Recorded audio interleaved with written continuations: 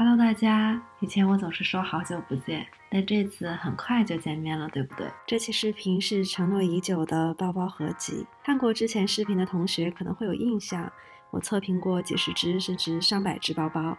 所以今天要分享的十二只包，真的算是百里挑一了。我想应该会有很多大家都没有在其他博主的视频里见过，他们有的已经用了超过十年，至今还是经典。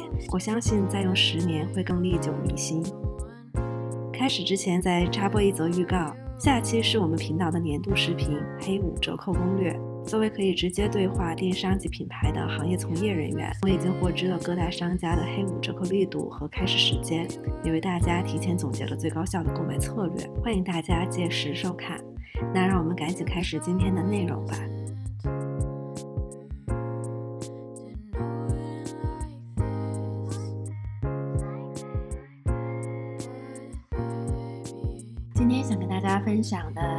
的第一只包是这只 BB 的卡带包。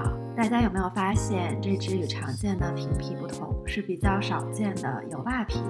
其实因为它是男款，我自己更喜欢油蜡皮的皮质，气质上更随性洒脱，使用上也更柔软轻便。这款的另一个特点就是肩带的可调节度非常高，常规的单肩或者斜挎我就不多介绍了。额外的，我自己还喜欢用它当背包。把它背在身后，解放双手的同时，胸前的交叉背带也能打破秋冬搭配的沉闷感。另外，还可以像这样，把肩带在内部绕一下，就可以悬吊着背，更显洒脱不羁。另外呢，它还内附了同色系的内袋，可以拆卸，这样就让收纳和换包都更加方便。而且油蜡皮还有一个特性，就是它会越用越油亮，所以用的越久，它随性和复古的气质会更浓郁。搭配方面呢，同时会搭配比较随性的基础款单品，像这种衬衣剪裁的羊毛外套，男孩子气的风格配上明亮的颜色，松弛又有少年感。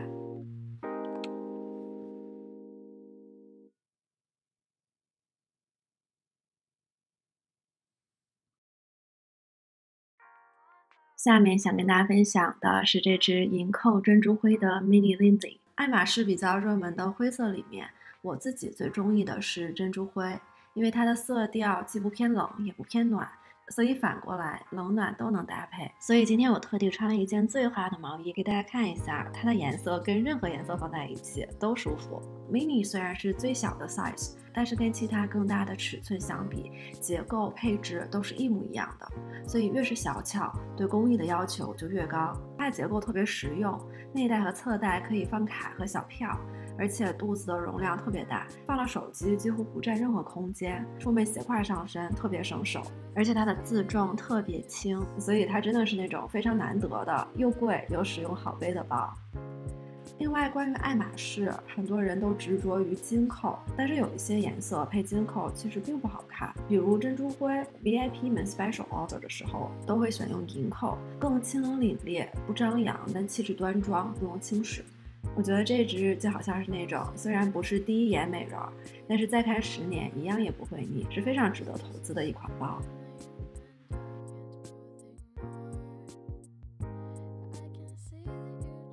下面的这一只呢是 Heru 的花穗包。Heru 是来自西班牙的手工皮具品牌，之前夏天一直在穿的玛丽珍也是他们家的。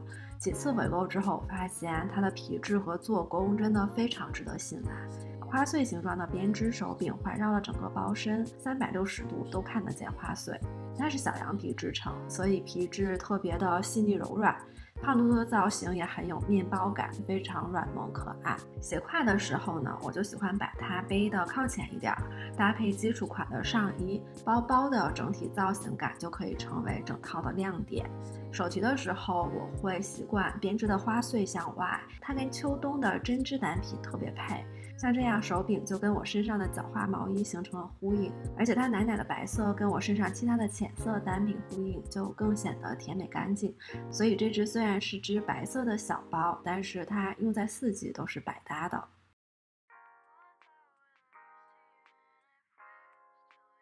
下面的这只 Celine 大家可能觉得不太眼熟，但是它来头可大了。它的名字叫是2018年 Celine 的春夏款，也是 Phoebe Philo 在 Celine 的收官之作。由于是收官之作，所以细节也特别考究。母亲是做旧质感的，走线和印字也一如既往的细致高级。到现在已经有三四年的时间，但是历久弥新，也是非常难得的收藏价值和日常搭配度都能兼顾的款式。作为内外全皮且五金考究的公文包，它自重真的还有点重，所以如果买不到的大家也不用特别遗憾，或者一定要去买中古款。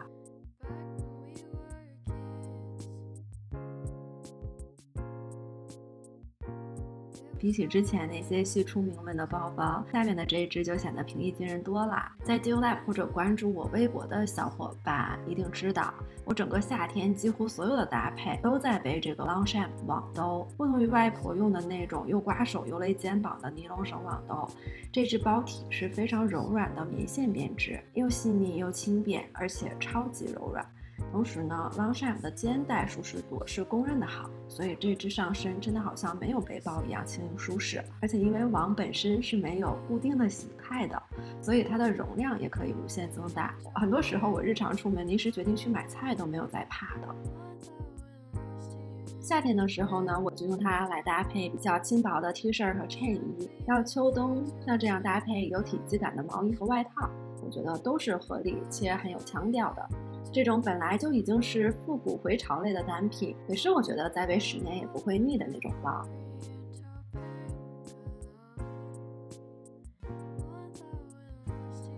下面的这一只不需要多介绍，是大家再熟悉不过的凯旋门腋下包。春夏还是一包难求的时候，我就入手了。现在已经是秋冬，但我依然爱不释手。它自带贵气，但是不张扬压迫。用它来搭配最简单基础款的时候，不会让人觉得你不懂搭配，反而给人低调但气场强大的感觉。因为腋下包背的位置比较高，所以凯旋门的金扣的作用就好比一个胸针儿，本身就是一个非常精致的配饰。搭配最简单的基础款，也好像把 sling 穿在身上的感觉。它在秋冬搭配里还有附加价值，比如我现在身上这种上下都宽松的无腰线的五五身穿搭，我自己就会选一个腋下包，制造出腰线就在腋下的错觉，可以一键提升精气神儿。另外，今年是凯旋门 logo 问世的五十周年，我觉得这种经过时间沉淀的设计会更耐看也更长久。这里还想跟大家分享一个物美价廉的皮具护理产品，一套也不过十几刀，操作也特别简单，擦过的包油油亮亮的，用到成为中古款也能成色超好。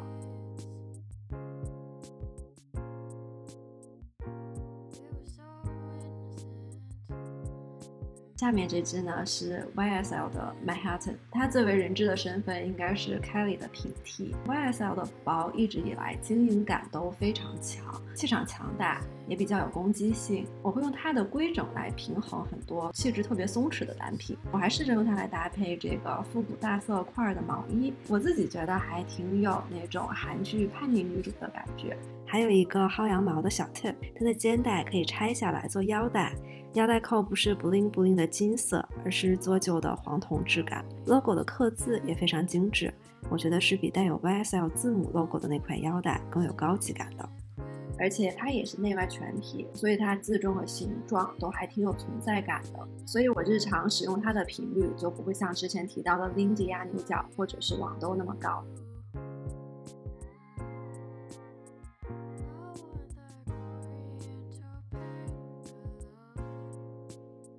下面的这一只呢是高尔的 Tote，这只真的是我日常使用度最高的一只包。它的帆布非常的轻软，而且随意折叠也不会留痕。作为奢侈品包包，可以说是非常不娇气了。基本上是连续用了四五年，到现在甚至都没有太多的使用痕迹。另外呢，这个是我独创的，我觉得它可以反过来背，那它就是一只外缝的明线帆布包，而且它的包边做工非常工整，翻包的时候内部是能露出经典的标志性设计的，我觉得也是一个彰显格调的小心机。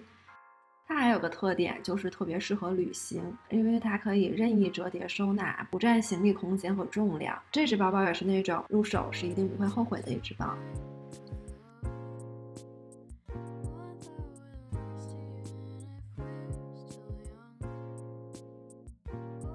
下面的这只呢是罗意威的 Mini Amazona，它其实是罗意威的第一只现象级的爆款包，而且是早在1975年。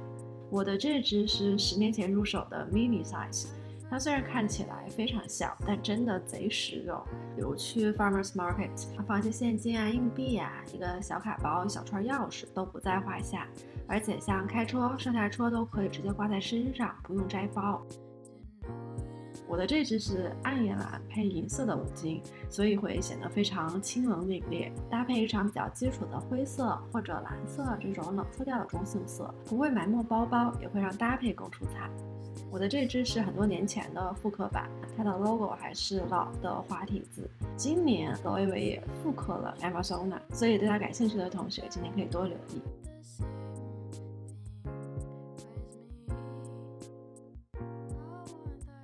下面的这只呢是 Celine 的中古款，它是一个马车标的帆布拼皮的邮差包。马车标是 Celine 这个品牌在一九六六年正式启用的，甚至比凯旋门更早。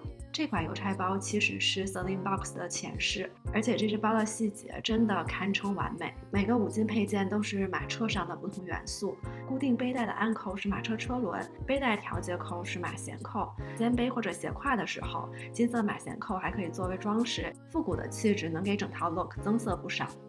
其实 Celine 的马车标在中古店还挺常见的，但是车轮扣基本上已经找不到了，所以我超级珍惜这只包。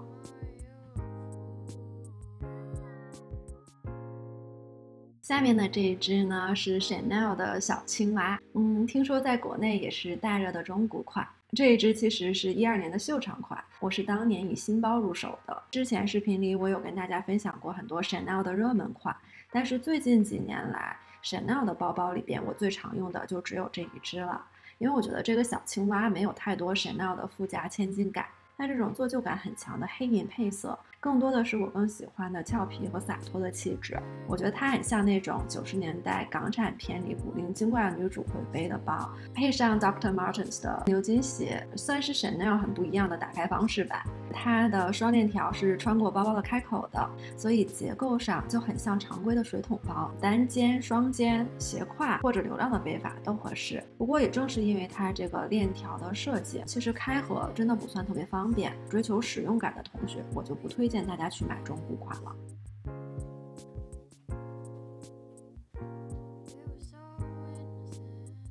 最后一只想跟大家分享的是乐美尔的牛角包，因为牛角真的太红了，红到我怕大家觉得我没新意，所以把它放在视频的最后。但同时呢，它作为我最爱的包包，压轴出场也足够分量。这只包是小羊皮质地的，所以它的皮质非常柔软细腻，自重甚至比通常的小包还轻，所以上身没有拘束感。它拉链上的面包感的皮质把手都是软软糯糯的，我背它的时候经常忍不住要去捏一捏。作为奢侈品品牌，打折的时候七百多就能入手，性价比也没得挑。秋冬配色里，我比较推荐的是上期视频里出现的巧克力色，跟任何秋冬色系的单品都不打架，阳光下也油油亮亮的，质感极佳。所以这两个颜色是牛角的全色系里面，我觉得最值得购买的。真实的内容已经说的差不多了，大家别忘了下期的大促攻略会在下周末准时上线，届时也会有几个重大消息公布，同时也欢迎大家加入我的折扣群，有的放矢才不会花冤枉钱。那今天的视频就到这里吧，我们就下期视频不见不散啦，拜拜。